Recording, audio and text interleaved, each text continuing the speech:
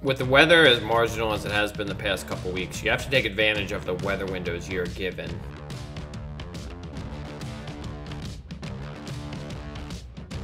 Today we are offshore in the Gulf of Mexico exploring one of my favorite fisheries, fishing hard bottom and potholes for giant red grouper.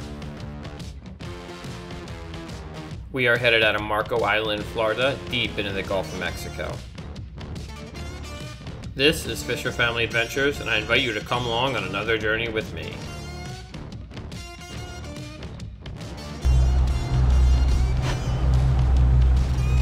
Freaking. We got the hot. Is that why you haven't caught any bait? Oh, there you go. Just lost one of them. Oh, oh, there you go.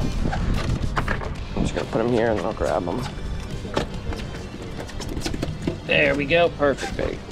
Perfect bait. Another one right here.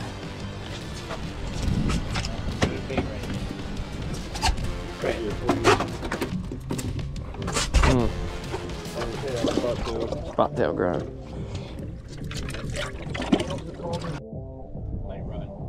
Uh, all right. Going all the way to the bottom. Yeah, I got it at the bottom. I popped a couple times, but then I slipped to the bottom. I didn't, I didn't hit.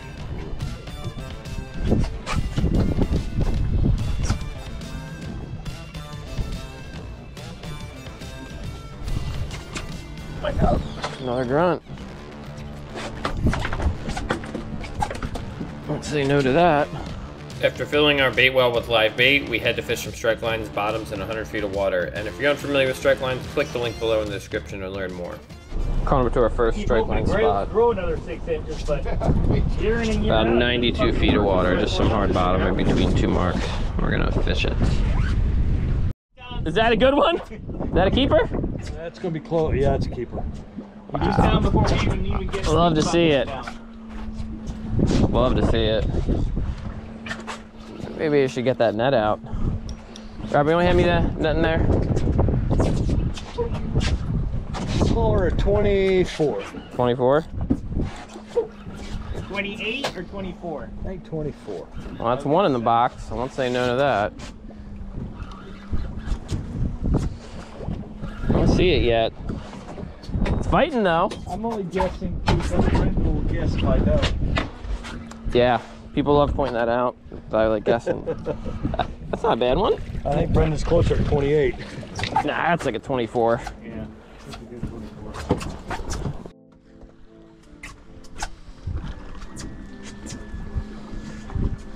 Nice red grouper. On the jig, right? Squidlicious. Squidlicious. Love it. Keeper? No. Oh, you got doubled up Squidlicious. on the strike lines. Some better bottom here. I don't know if there's any big keepers though. You good, Robert? Yeah, good. Omar's going for the trophy. Tiny. He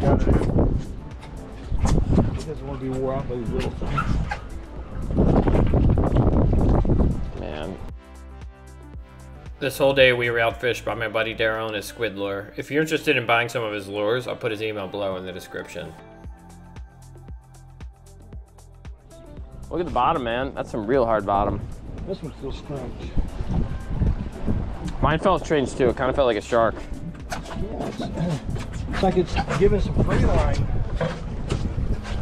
Look at that bottom. On the strike line spot. Whatever it is, it's gonna keep, right? No? Alright. Ah, might be close. Worth a measure. Yeah? No, he ain't gonna make it.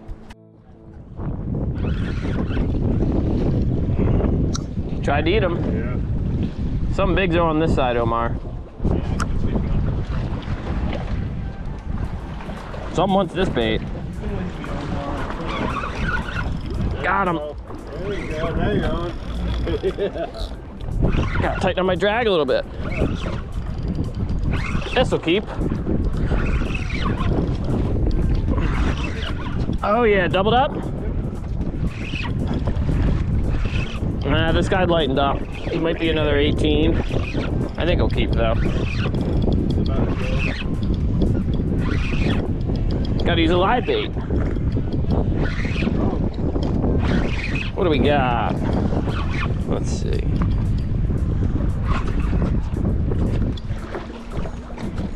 Ah, I think he'll keep. Right about 20. Yeah, he'll be close. He's he's not not um just at 21. I'll keep him. All right, we got a couple keepers in shallower. Seas picked up a little bit. We're gonna head out to about 105, 110 feet. Try some strike lines numbers I haven't hit before. A good grouper? Yeah, get turning. Bump and reel, my friend. You want the um? This might not be a grouper. Did I pick up?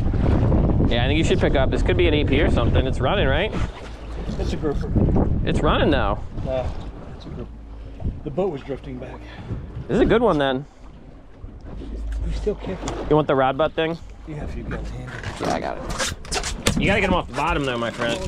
Way off the bottom. All right, I've already got probably 10 cranks on it. That's probably go, go, go, go, go, go. This is a good fish. 30? Uh, I think he's on. I'm picking up. That's what I'm saying. It might not be a grouper. Unless you're pretty certain. I should take it. It's fighting like a Looks like it's digging, but it, it ran a bunch at first. I think the boat was coming back up. Oh, yeah, yeah, yeah.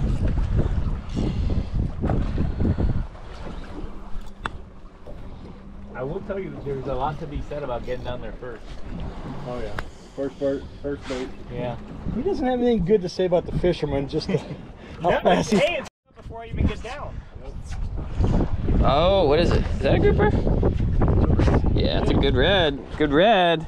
It's a nice fish. Red, red, red. Oh, there you go. There you go. Yeah, nice one. That's a nice one.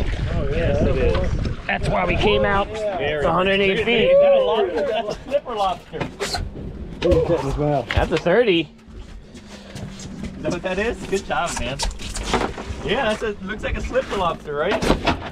He's, Or a crab. he's on the hook. Okay, we're good. I'll get him. You got him? You guys go. All right.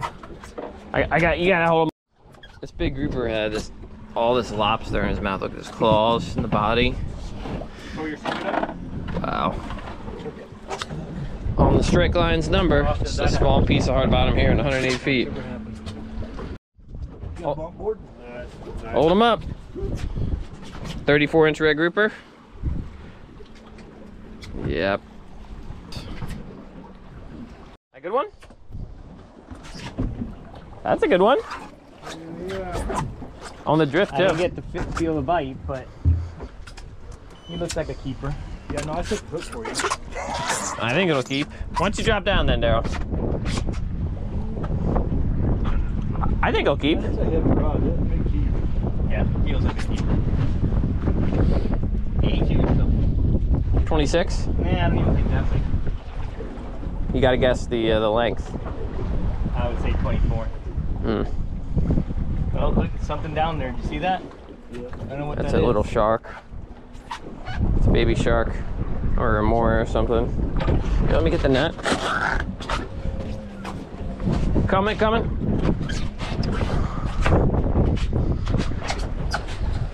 Yeah. Oh yeah, there you go. Good one.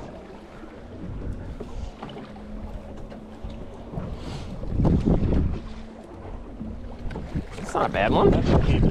That's a That was a 24. I, I, I don't know. I said 24, maybe 25. Ugh. That's his big brother. Is that his big brother? Something's wrapped. I'm not down. I'm just going down. Is that his big brother? No. I think he'll keep though. I think it's his little sister. Oh, smaller.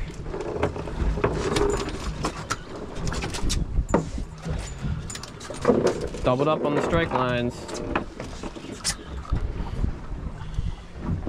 I think that'll keep.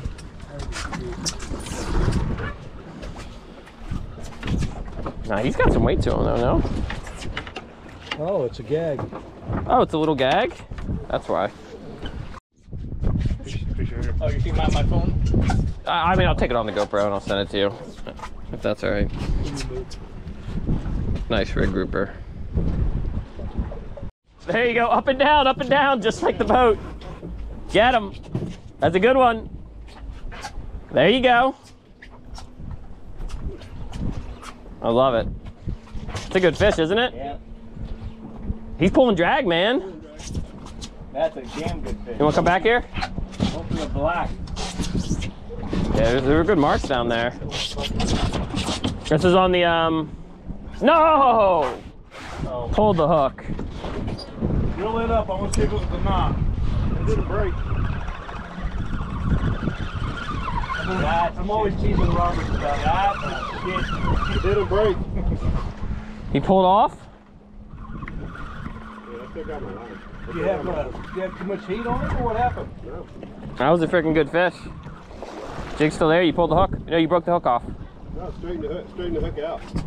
Now, hey, just so everybody knows, those aren't my fish. I don't sell those here. Oh, is that the fish you lost? Hopefully. Whenever you're ready, man. Oh, that's a good one. He's not your. He's not the one you lost, though, Robert. Yours was much bigger. Keep it coming. I think there'll be one for the box. I think it's 27. No, He's got weight to him. 25. 25. All right. It's a good fish, though. Yeah, the one Robert had on, freaking. He wasn't moving it much. This one's coming. Well, he was pulling him up, but I think he had too much pressure on him, like you said. Yeah, once you get them off the bottom, you, you don't have to. See, that's why I use those BKK hooks because they won't straighten those ones. Well, those hooks that he has on there is what came on that uh, flat jig, right, Robert? On the, uh, I see him. Yeah, that'll keep. I got color. That that red will keep.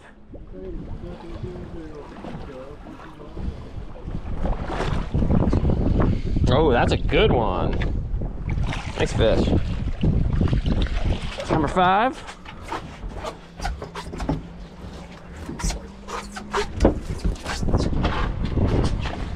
I on the? the net. The net. Man, the mouth is full of crap. Nice fish. It's a nice fish. Oh, that's him. That's him. Is that a red? Don't put too much heat on, man. We know the hooks can't last. No, these are different hooks than he has. This isn't a red, right? I'm not gonna call it. I think it is a red. I'm hoping it's a black. We already caught your PB earlier, 34. Is this bigger? No. He's coming though. I've got plenty of cranks on him. If he wants to run somewhere, he can run. I'm gonna. Freaking it. Like a truck, that fish, didn't it? Yeah, I think this is a grouper. Yeah, it's. I think it's a red. That's how nice the guy Robert is. He let him go. He's got keeper number six.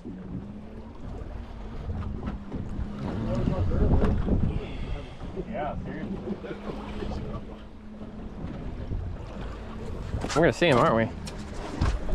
We all made it down this time. We can't even bitch about it. There he is. I got him. That's a good one. Oh my God. That's, That's the one I'm gonna, yeah. Eh, that's like a 28. definitely the one I'm gonna. That's like a 28 right there. Ah, he might go 30 actually. That's a fat one though. Yeah, that's a fat fish. You want him up? So that this jig is uh, out fishing all the people fishing with bait here for the red grouper. Doing awesome. Oh, that's him. Him. He was pulling drag at the beginning, man. You want to slide back? Or you good there? Oh, that's a good fish, man. Pulling drag. He's pulling drag on the live bait? Oh, play him easy then. Hey, I'm gonna reel in. Can you move him? Uh, reel in, guys. Reel in. Oh. Yeah, reel in. I don't think this is a red grouper. Reel in. No. Oh no. It wasn't a grouper. What, what was that? Shark, you think? This is a good spot. All right, home, on. Reel, no, no, reeling. I want, I want to move like 50 feet on this spot. But there was no way that was a grouper. Yeah, but it was running though. It could be, could have been an AP. Think? How much drag did you have on him? Oh, Brendan, why do you want to move like that screen? No, no, I'm moving. So we caught two.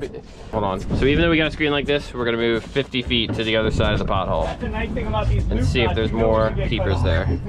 There's a strawberry grouper, and there's no size limit on those guys, right? Biggest one I've ever seen. Oh, that's him. Robert's on. Get him off the bottom. That's a good one. Oh, you see that? Get him up, man.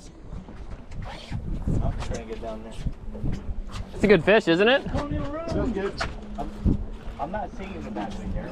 I'm just saying. I'm just telling. Hey, these look like snapper though, but who knows what that is? Up here, just so I I get exactly what you're saying. It's just uncomfortable. And the front Is that rod taking drag? worth it is- You're at an angle. Yeah, you're at an angle. I'm not getting red grouper vibes off that, my friend. And I can't stick my feet underneath. I don't think this is a red grouper, guys. Oh, I think you have an AJ or a big snap, big mutton. Big mutton, maybe. Yeah, this is an AJ or a big mutton, man. Omar's on. On the strike lines, hard bottom right here, doubled up. That's what's up. Tiny little piece of hard bottom.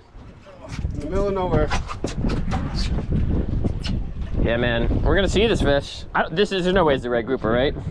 No. I think it's an AJ or a mutton or maybe an AP. This is got too much juicy. Um, It's coming up. It's almost there. What do we got? Is that an AJ? It's long. It's following up. His friends are following him up, so I think it's an AJ. Yep. Let me move this. Move this out of the way. He's on me. Is it an AJ? Yeah. AJ. Okay. AJ. What do we got here? I don't know yet.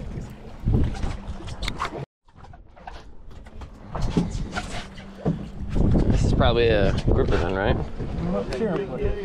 Feels good. Oh, there's something behind it. AJs are following him up. So it's probably an AJ then. It looks like an AJ. Yeah, it's an AJ.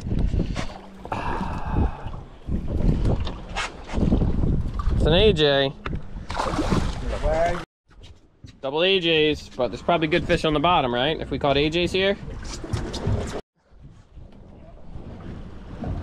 That's a live bait fish. Oh, you feeling jackish? Oh, that's his bigger brother, isn't it? Look at that run. I still think they're pretty fun to catch. You want to catch it? No, I'm not touching your reel. So far, it's like, here, you want it? Oh, you like these here? He's- Watch it end up being a block. that thing's pulling drag, man. Yeah, it is. A good fish. This is bigger than the other one you caught.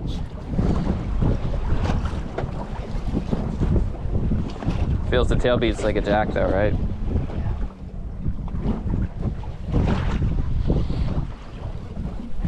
Oh, he's coming towards you now.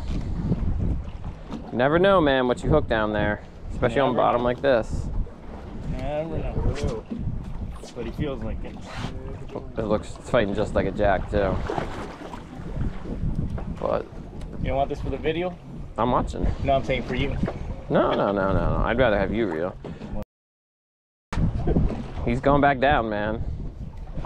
I'm not writing him off as an AJ yet, but it looks just it's fighting just like one. You do? It's gonna be close. I mean, it's on a live bait, so. I would say I yes. can I can feel you on my line. Oh, well, let's get him up then before we do any shenanigans I'm like that. Anything. I'm just staying. We're, we're getting close. We're too short before we're going for cobia, so I think we need him. I think he's Feeling. Oh, yeah, that's a good one. You want to throw me the net? There you go. I was wondering where that is. I guess you're not on my line. That's a good one. Eh, 22. He'll keep. I mean, I told you he was gonna be a keeper, but yeah, not not very good. We're gonna be a massive keeper. But Uh, we're through the. Those are Vermilions, aren't they? Those are Vermilions. Well, no, this is the group that's eating those vermilions. Hey, why don't you pull up that trolling motor, my friend? Is this our last one? Yeah, that's our last one. Did Not- you see I'm not- that how he told me not to drop? I saw that. He said, don't drop, those are all I didn't want to waste your time. when you knew you'd get down there I was first. Get down first and Hey. get the big one. That's great. That's a good one. Yeah, he's not. He's maybe a 24 to 26. Good fish. You gonna toss me that net? Hard to tell because the trolling is not holding us, right? No. That's, So, yeah, so it's hard to tell. thank you. He's. It'll keep though. That, that Oh, thing yeah. hit hard too. I see him. Oh, I see him too. Keep pumping him. You pumping him, Daryl.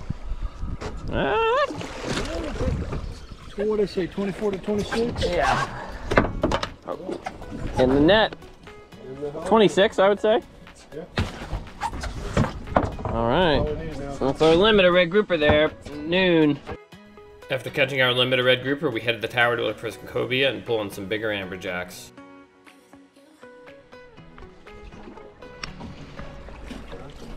Eating the chum right out of the bag. Yeah. AJs are coming up and eating the chum out of the bag. I was on the bottom. Wonder how big of an AJ this is. And will he get sharked or not? That's the question. Okay, bounce. The cobia weren't cooperating that day, so we head back to the dock to fillet up our catch. Well, there's our catch back at the dock. Eight nice looking red grouper. We got the biggest one on the jig, right? Biggest one was on the squidlicious. Biggest one on the jig. Two of them really nice here. Biggest one was 34 inches. Now we're gonna cut them up. Cut 'em. So there's a lot of meat on up here in the head, so Yeah, I'll come over here. Yeah, there you go. All the way up to the head.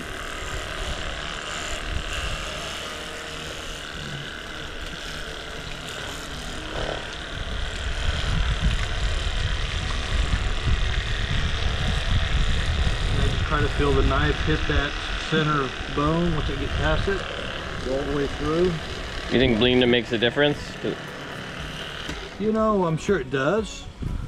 But that that meat's really nice and white. This looks real white, this meat. Once you get at that point, you can just kind of pull and leave the rib cage right on the meat. And that's what you're left with. That's how we end up with a really nice fillet. And then uh, as long as you keep it at a nice angle, you can just uh, Put your fingers on the rest of the skin and pull it off. Look at that. off. And that's what you're left with. No bloodline. If you just give a little tilt, that bloodline will stay actually on the skin and not be on your meat. If you get too close to the skin, then you got all that bloodline here on your plate. So that's how I do it. Cool. Great work. Pelicans are happy. What's up, everyone? Welcome back to the kitchen here.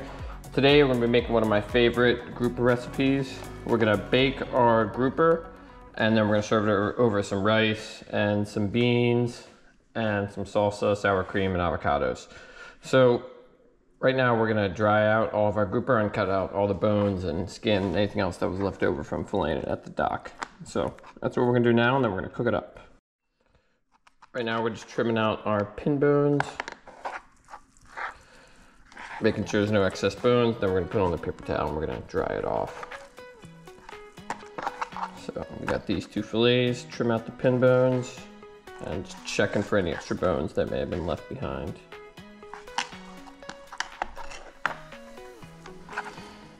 All right, so looks like our grouper uh, got a little bit of skin here. Trim that out real quick.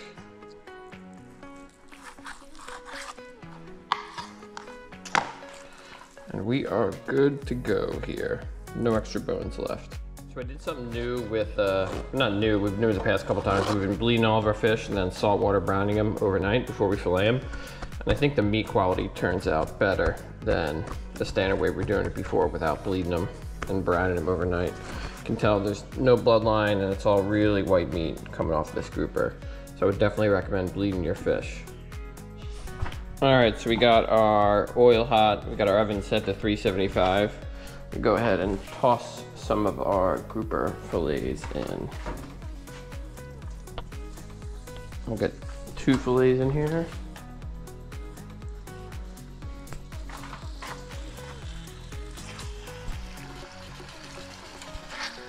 And we're gonna season it with our Everglades fish and chicken. Love this stuff. It's the best for grouper, I think. Not too much, just a little bit on the top. We got some stone crabs and some clams to go with it too. Season's open until May for another couple months. All right, give this about two minutes on either side and then we're gonna finish it off in the oven. All right, we're gonna go ahead and flip our grouper. Yeah, when you bleed them out, there's way less of a bloodline, less noticeable than if you don't. I'm actually definitely gonna do this with all of my grouper from now on. Just bleed them and saltwater brine them on ice, keep them really, really cold. Now we'll give us another couple minutes and then we're gonna throw it in the oven. All right, time for the oven. Got the rest of our dish, cook it in there. I'm gonna let that sit for five, ten minutes and cook up some of these stone crabs. Let's uh, let's check the grouper. It's just about done. You can see you can put a fork through and it's flaking through, so it's just about done. Now we're gonna serve it. You can see it's just flaking apart. The grouper is definitely done. Now we're gonna put it over our dish and finish it off. Hmm, that tastes great. All right, so we got our grouper dish here. We've got the rice, beans, sour cream, a little bit of shredded cheese and salsa, and then our grouper over it. Well, thanks for watching, guys. Subscribe to my channel, and I'll put out a video next Tuesday like I do every Tuesday.